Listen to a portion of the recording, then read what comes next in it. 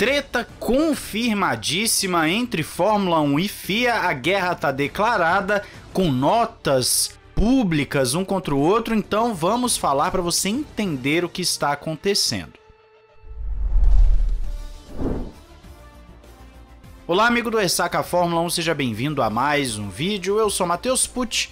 Hoje o nosso vídeo da manhã, que saiu depois do meio-dia, foi principalmente sobre esse assunto, sobre a FIA não muito contente com relação a esses rumores de venda para o fundo árabe. E aí a Fórmula 1 deu a sua resposta, inclusive ela deu a resposta quando estava processando o vídeo de mais cedo. Então agora à noite eu vou explicar para você em detalhes o que está acontecendo e até respondendo um pessoal que estava em dúvida do vídeo anterior. Alguns até falando, nossa, que sensacionalista esse Matheus, mas é porque, pelo visto, é um pessoal que não acompanha os bastidores, não sabe muito bem como funciona. Então vamos lá, vamos do início. Saiu uma informação que a Fórmula 1 teria recebido uma proposta de compra de 20 bilhões de dólares, na verdade no início era até na casa dos 15, e a Liberty Media teria rejeitado essa proposta, vinda de um fundo árabe que é o mesmo que comprou o Newcastle, contratou Cristiano Ronaldo, enfim, esse tipo de coisa. O detalhe é que o presidente da FIA, o Mohamed Ben Sulayem, veio a público falar que não estava vendo com bons olhos isso não.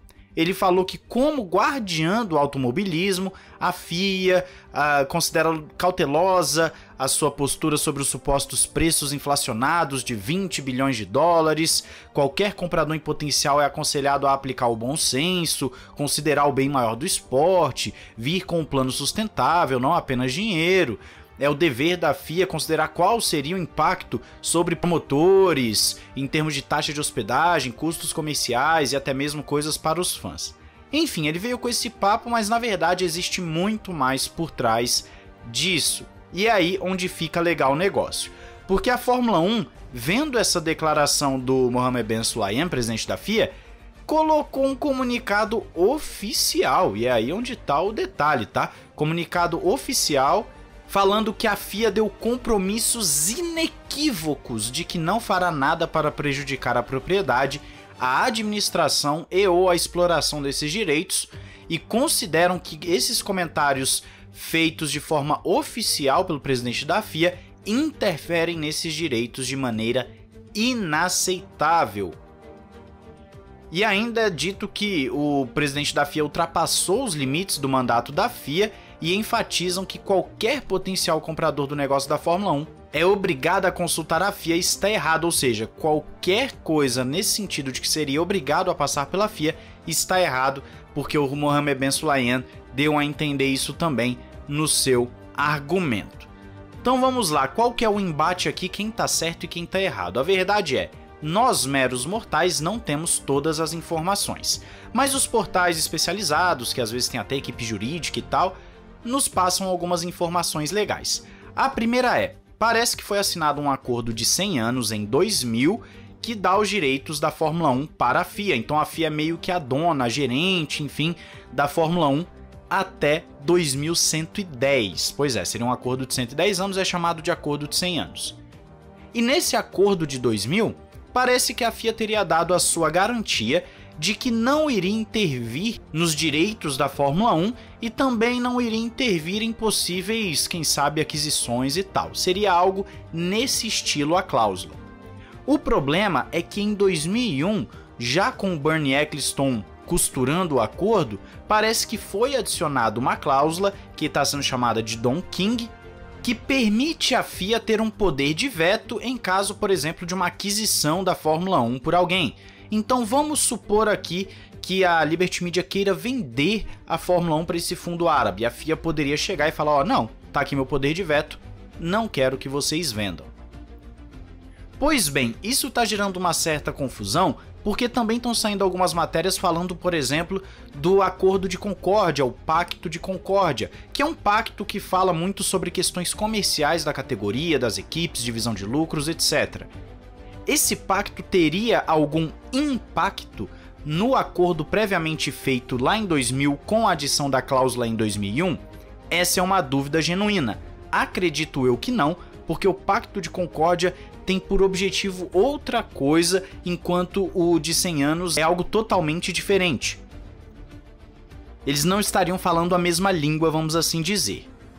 A FIA está preocupada com uma possível venda da Fórmula 1 não é porque os 20 bilhões vão inflacionar preços, é porque o produto Fórmula 1 está em suas mãos e aí nós voltamos para o acordo de 2000. Aparentemente, a FIA não pode se livrar da Fórmula 1 de maneira fácil. Então, uma venda ruim, uma venda que vá para donos que não coloquem a categoria num bom nível, pode fazer com que a FIA tenha prejuízo com a Fórmula 1 e ela não poder se desvencilhar desse prejuízo e ter que arcar com ele até 2110. Esse seria o real motivo da preocupação da FIA. Claro que isso implica também custos para os fãs, para os promotores, isso é uma preocupação porque afeta o esporte como um todo e tudo aquilo que afeta negativamente influencia na promoção do esporte, etc.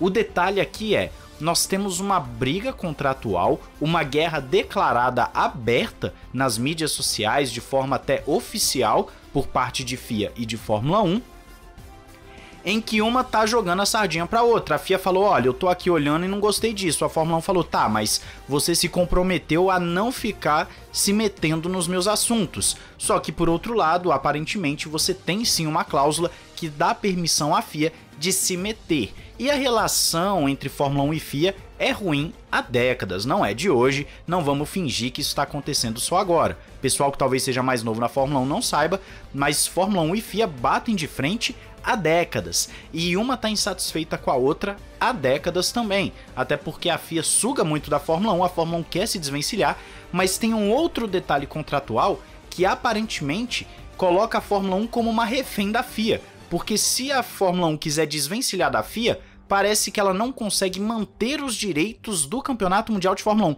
É uma loucura. A Fórmula 1 se desvencilha, mas não tem direito sobre a própria Fórmula 1. É alguma coisa nesse tipo, por isso que eu falei que é muito complexa essa questão contratual e nós temos que esperar mais informações do pessoal jurídico aí, dos principais portais que estão vendo isso, que estão analisando mas é tudo muito nebuloso, tudo muito difícil da gente estar tá analisando agora.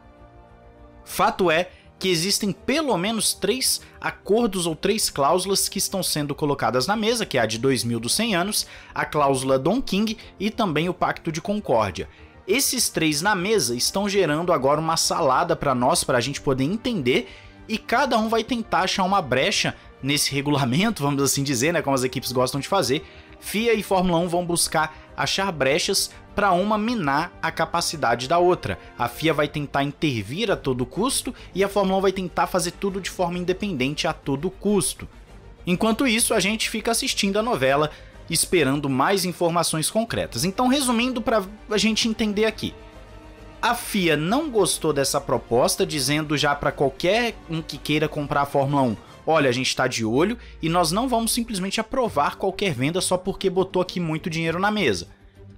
A Fórmula 1, por outro lado, viu que estava perdendo a sua autoridade. Falou: peraí, eu, eu rejeitei a proposta, mas quem tem que lidar com isso sou eu, você não tem que se meter, fia.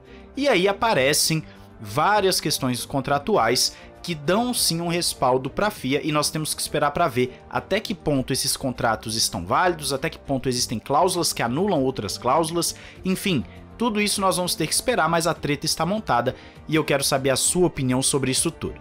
Diz aí nos comentários, não esqueça de se inscrever e ativar o sininho para não perder nada aqui no Ressaca F1. Um grande abraço, valeu e falou!